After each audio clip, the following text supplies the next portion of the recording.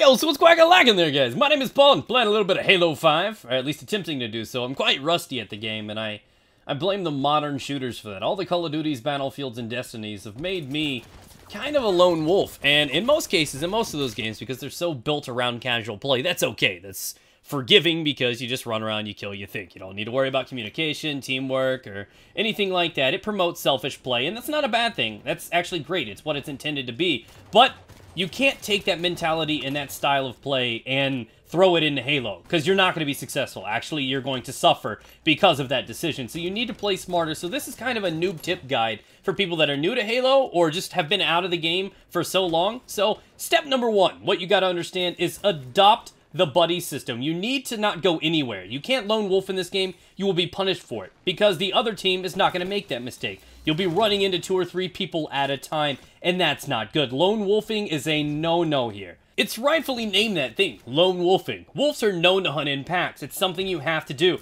So find your teammates and stick to them. Like, come in here, stick to your teammates. You have to do that, or you're going to find a lot of failure in your game. Another basic tip I can give you guys, as you notice, I just took damage, and now I'm kind of walking away. Why are you not running from the enemy, Pwn? As you run away, it stops the regeneration of your shield. It's another thing that you have to adopt, start learning to use, and, and kind of counter. Find an area, try to crouch in it, walk away. Only run if you absolutely have to. And that's just generally if you have a teammate to fall behind, and you kind of bait the enemy in. But for the most part, you got to be smart with doing that shield regeneration. Now, another big tip. Crouching is huge. It keeps you off the enemy radar. You can use it for stealth, for if you know there's an enemy coming in your direction, for callouts. You can use it for flanking if you've got a nice combination of communication down with your teammates. It's great. You stay off the radar, therefore stealth is your best friend. Trust me, I did it throughout high school. Never so much got noticed by a single female.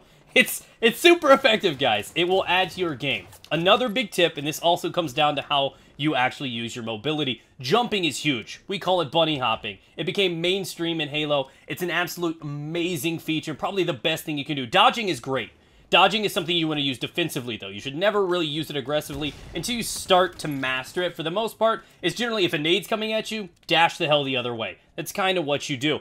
But jumping is an entirely different beast. It's something that you want to learn to get good at. And the second you actually master jumping, you're going to find success and more survivability. I know it sounds like a simple request. Jumping, why does that matter? People are going to have their sights lined up at head level when they come around corners. You're going to be easy to pick off. They're going to get perfect kills. They're going to drop you in no time whatsoever. And it's just an absolutely big mistake to make when you're playing Halo. The moment you start incorporating jumping into your game, you're going to find a lot of success that way because it will keep you out of it. So then they have to relocate. Oh, wait, I got to aim up to the sky. Then I got to aim back down on ground level. Then I got to aim back up. And during this, they're going to be getting body shots, missing shots entirely. It's going to keep them disoriented, and it's going to keep the advantage in your court. And that's something you want. So jumping is one of the best things you can do to improve your game.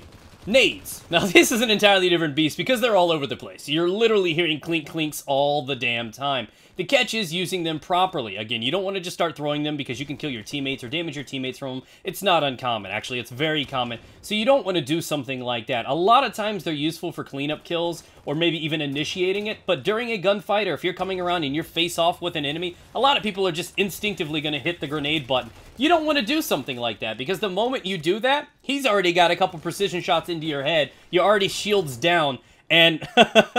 Well, nice knowing you, mate. And that's pretty much just how it's going to be. So you got to know how to use the grenades and when to use them to not damage or endanger your teammates, and also give yourself the proper advantage. So play smart with grenades. Moving over to another one, and this is just kind of back-ass words for a lot of people. I know other games out there, this would make no sense whatsoever. Assault rifles are great in close quarters, but they fall off on range. They're not the most reliable. A lot of people lead with a pistol because you can snipe with it, whereas the assault rifles are generally good in close quarters. That's pretty much the exact opposite of every other shooter out there. I know it's kind of back-ass words, but it's Halo. It doesn't need to make sense. It's just badass, okay? Deal with it. So, when you can't get a BR or a DMR or anything like that, the pistol can, in fact, serve you well. Actually, I like it. You can contest snipers, DMRs, and everything. You have a disadvantage going against some of those on-map weapon pickups, but it can, in fact, contest it. And that's what makes it so damn delicious. It's a great weapon, to be honest, and I absolutely adore it. But that is pretty much the end of this episode. I'm going to have more videos coming up in the future. Reminder to subscribe for future Halo 5 gameplays. If you have any questions whatsoever, let me know. Again, I'm rusty at this game. A lot of the modern shooters have spoiled me. I'm trying to adjust to my playstyle to get back into the Halo groove myself, but I have a lot of experience in the game. Looking forward to posting some more for you guys. Have a great evening, and Get out there, find a buddy, and, and find success.